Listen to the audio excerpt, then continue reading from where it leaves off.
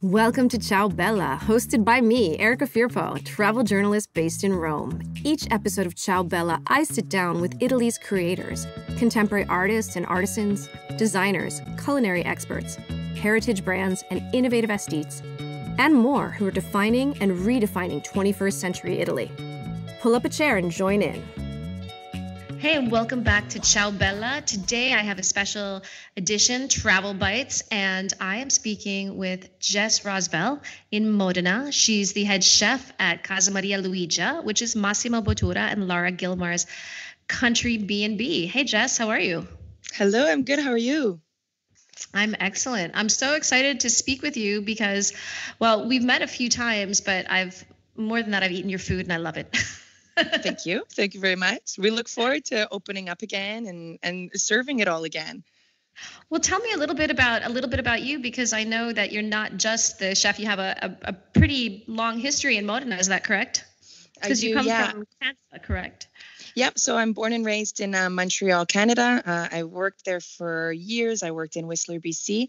Um, but I've been in Modena for seven years now, um, of which five and a half I was working at Osteria Francescana. Um, I was uh, chef de partie there. Um, and then I also manage all of the international events, so a lot of traveling, pop up restaurants, fundraisers, um, lots of traveling. And then as of last um, May. We so May 2019 we opened Casa Maria Luigia, which is in this beautiful 300 year old abandoned um, home, really in the countryside. It was an old agricultural um, property that Massimo and Lara kind of purchased um, at auction, a little bit kind of by accident. Um, and then they kind of wound up with this big property and decided to transform it into this uh, guest house, which is where we met.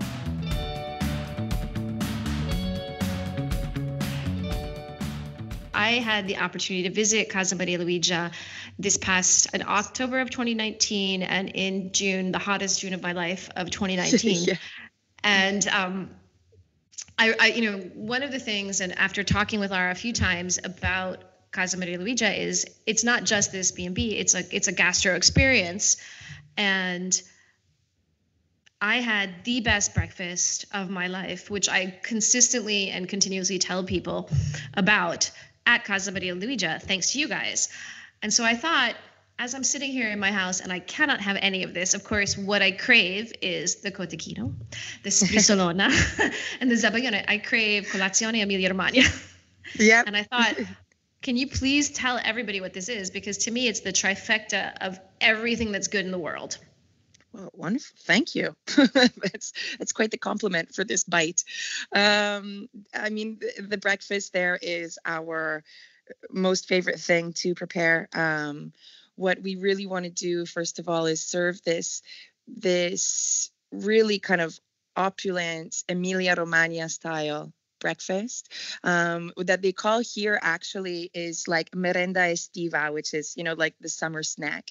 So oh. traditionally in, in these agricultural lands, you'll have a lot of the farmers are waking up at the crack of dawn, having what would be their coffee and their sweet breakfast at that time. They'll go work in the farm on the fields for hours. And then by the time they kind of come back in mid morning, um, they're ready for something more hearty. They're ready for something um, meaty um, and, um, you know, gnocco fritto and maybe a little glass of lambrusco and maybe some, you know, maybe some of this cotechino sausage. Um, so that's something that, you know, using a lot of the traditional recipes, we decided to serve for breakfast um, every day. whether we're in the fields farming or not. Um, and, you've, and you've created this incredible, like it's like an overflowing of corn, like a cornucopia overflowing. Yeah, I mean it's it's really great what we have on the property, which is the one thing that inspired a lot of the approaches to the recipes is this beautiful wood fire oven, um, which is my baby. Uh, and I believe I, I met you at that wood fire oven. I have a picture of you at that wood fire oven. Yeah, it is where I spend all day every day, and I would, you know, spend even more time there if I could. Um, it's a gorgeous oven, completely um, wood fired. So I even, you know, bring in um, the best three you know three different types of wood up from the apennines so that we get like the proper perfect cooking of everything that we're making in there from this cotechino sausage that you had um, to the sbrisolona which is the sweet almond cookie at the base of the dish but even the focaccias the herb pies everything that you have at breakfast um, is being baked in that oven. So um, it really is you know becomes really special. You know, you wake up in the countryside, you go outdoors, you see this, you know, very kind of famous um, Modena fog kind of covering the fields around you, and you smell the wood burning in the oven. And I just think that it's the most beautiful ex- country experience you know so that is um i think you know gives it that that real different touch um, of the bite of the bite that you had. Um, so, so tell me a little bit about this you know trifecta of and, and can you explain so we, we talked about the sbrisolona sbrisolona is the almond kind of cr- hardish crumblish cookie, cookie but can yeah. you tell everybody what the what the cotechino is and the zabaione Sure. So um, it's actually um, the cotechino sausage, which we keep bringing up, um, is a very traditional uh, pork sausage. It's actually quite large, um, made here in the province of Modena, more specifically in Mirandola, um, which is about 30 kilometers away from downtown Modena. Um, and they've been making it since the beginning of the 16th century. Um, it's made out of a combination of pork meat, um, uh, um, fat back, um, and pork rind, so pork skin. Um, that's kind of all gets ground up and gets put into this casing. Now, traditionally, the sausage is um, steamed and served or with you know lentils and pureed potatoes um, or actually very traditionally um, in a dish called zampone, which means that you're basically stuffing this sausage into a pig's foot. Um, which is crazy. so, um, definitely, you can find this dish just repeating itself over uh, the last 500 years of gastronomic history. Um, and so, when we started uh, looking at it, you know, I said, okay, it's great, but this sausage steamed is like not, you know, it, it's not saying breakfast. So it goes into the oven and it just gets slow roasted and smoked. Um, it's being smoked for about an hour. I would say an hour as everything else is going in and getting baked in the oven. It's getting smoked, just sitting in the back, right in the ashes of the fire um, and mm. taking on re- that that real flavor, that really smoky flavor, um, and getting that nice crust on the outside and still being really nice and soft on the inside. I'm slowly so crying as you. Yes. I know. This is when I feel like, you know, in the movie Hook, where all of the kids are sitting around the table and eating the invisible food. You know, this yes, is exactly. I feel, I feel like that right now too. I'm, I'm, um, I'm, I'm slowly eating mine right now. yeah. you know um, so this sausage gets you know you get a nice thick slice of this sausage um, placed on top of this sbrisolona cookies. Sbrisolona cookie is um, like kind of a real sablé style cookie um, but we leave it really chunky so that it kind of crumbles. Um, and it's typically from the north of italy. And what they usually do with this kind of sweet and salty cookie is they dip it into fortified wine or grappa, and it's just eaten like that traditionally. We put it under the sausage because we're crazy. Um, and we just wanted to add it that kind of like sweet and salty element to it. Um, you know, almost like pouring maple syrup on your bacon you know, oh like all of goodness. those flavors kind of, yeah, it just like all talks to breakfast, you know, the sweet with the savory with the smoky. Um, and then zabaione. So zabaione is um, basically whipped egg white, uh, egg yolks, pardon me, um, eaten all over the north um, again of of Italy, um, and we make it with Marsala wine. Marsala wine is a fortified wine from uh, Sicily, um, and so just putting a little drop of that, uh, you know, just to even talk about these these this agricultural kind of farming culture of you know, you come in after working the fields and it might be 10 o'clock in the morning, but it's okay to have a little bit of wine, you know, you've already worked your day. Um, and so we just put a drop of that in the zabaione So basically, if you want to imagine this little round cookie, a great slice of the smoked sausage, a dollop of this zabaione, with a touch of Marsala wine, and then we drizzle extra vecchio balsamic vinegar from Massimo's family's reserve, so from Villa Manodori. Um, extra vecchio means it's a balsamic vinegar aged over 25 years, um, and we just put a drizzle of it on top. And we decided that that would be breakfast. and I decided that I would eat it every single day, and it is yeah. the healthy. And I've convinced myself it's the healthiest thing on earth. yeah. oh my exactly. goodness. but I okay, I'm I'm gonna I'm gonna say it. I know that that's not all that you have. I know you have amazing breads, and I know you know just from being in Casa Maria Luigia and in that kitchen, there are so many great things that you're you're you're you're creating every single day. And I'd love to know a little bit more about the kitchen philosophy. Um, yeah, absolutely. So, I mean, what we wanted to do at Casa Maria Luigia was create this the typical Italian welcoming atmosphere, which isn't welcome to a hotel, but it's welcome to our home, which is we want you to wake up, come and enjoy the biggest, longest breakfast of your life. But then throughout the day, we want you to go into the kitchen, open the fridge, and find it full. We want you to grab a bottle of wine or of Lambrusco from the wine cellar. We want you to go into the music room and choose whatever record you want to listen to um, from Massimo's private collection and just put it on to, to, to play. You know, there's libraries of books available to you. There's cocktail rooms. Um, come into the garden with us and, you know, see the vegetables that we're picking. And that's the philosophy that we have. It's just the luxury of um, total freedom. And in that house, you'll never be asked to sign a bill. You'll never be told that the kitchen is closed. You'll never be told that you can't do anything because it is typical Italian hospitality at its best. Um, and that's really what we want to communicate. So, in the kitchen every day, um, using stuff from the garden that have been passed through, um, the oven outdoors. I mean, we cook almost everything um, directly um, in the in the wood burning oven outside. Um, we're putting beautiful desserts, salads, um, little snacks, you know, kind of scattered all about the house. Like kind of when you go back to your parents' house after being away in university or something and you get back and you go into the kitchen and it's always full of food and that that great feeling of being home again. You know, and if and, if and, your parents were just Massimo and Lara. Yeah, well, yeah, right. yeah, somewhere somewhere along those lines. Um, but that's just the the welcome that we want to give people. Um, so yeah, that's uh, that's our objective. Is, well, the vibe is very very easily transmitted. I mean, I I think the um, most of the time that I spent when I was there was in that kitchen. Um, I think there was like some yogurt snack that I had, and my husband was obsessed with all those like one um what do they call it? The the um the lambrusco but with the pop top that like is like one hit not one hit but you know what i mean? Um, yeah yeah exactly. it sounds like a beer salad. shot when you say it like that yeah, but yeah does.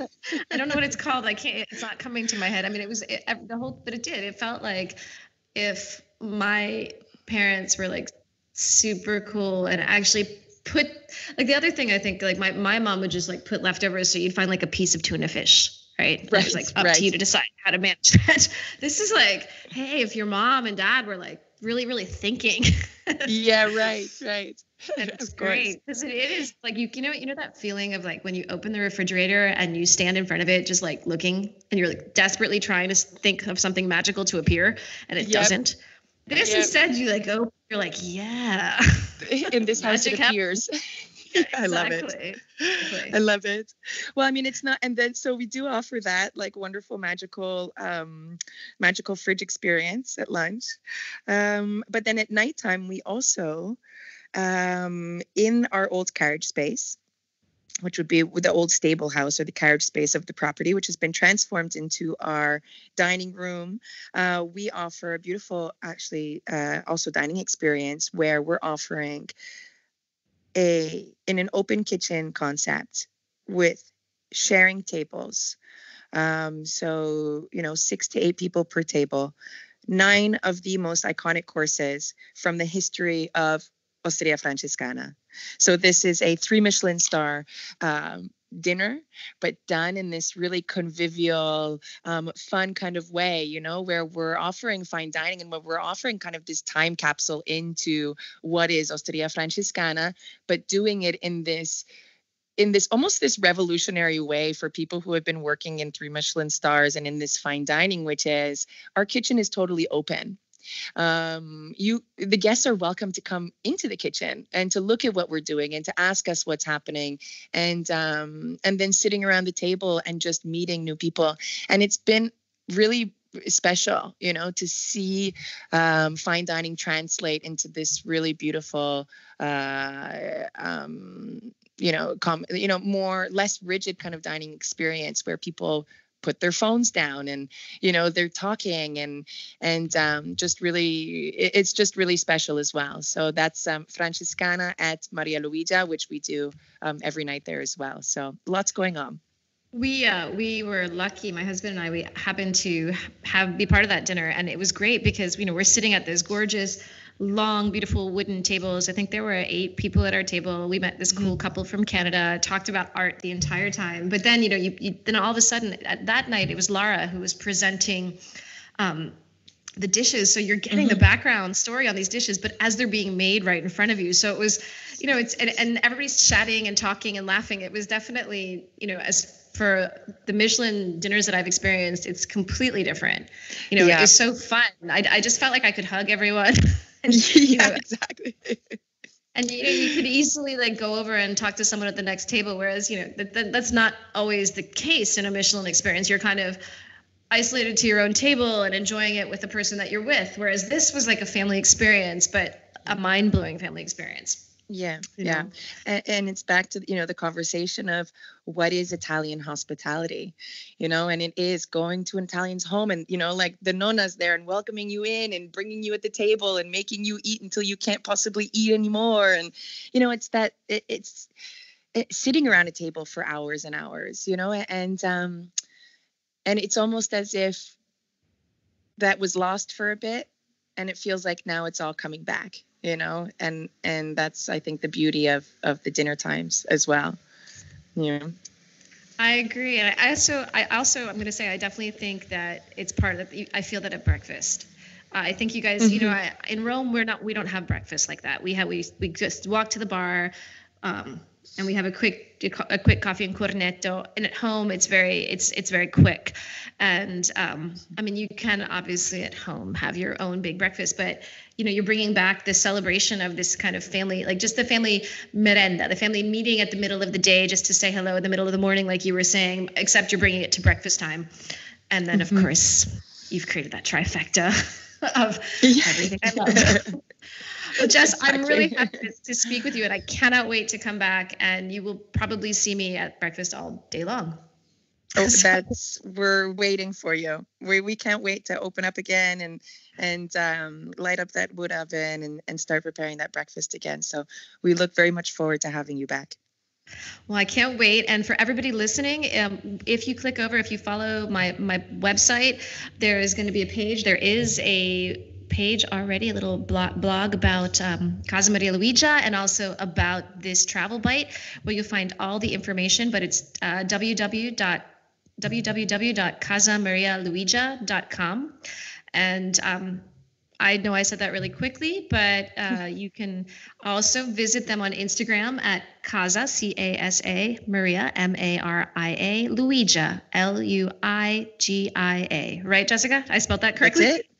That's it. Yep, you got it. I was going really fast. I, am glad I didn't trip.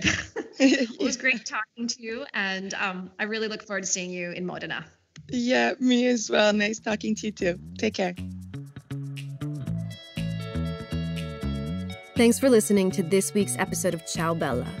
If you'd like to know more about today's guest, please visit ciaobella.co and click on the podcast link, or go directly to ciaobella.co backslash podcast. Want more Italy?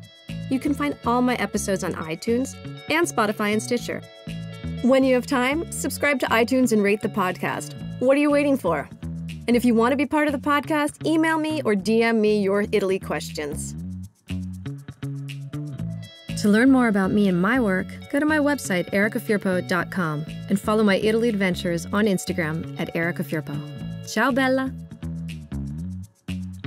And a very big thank you and hug to Massimiliano Yonta and Disc to Disc Studios, the producers of Ciao Bella who continue to make me sound and feel great.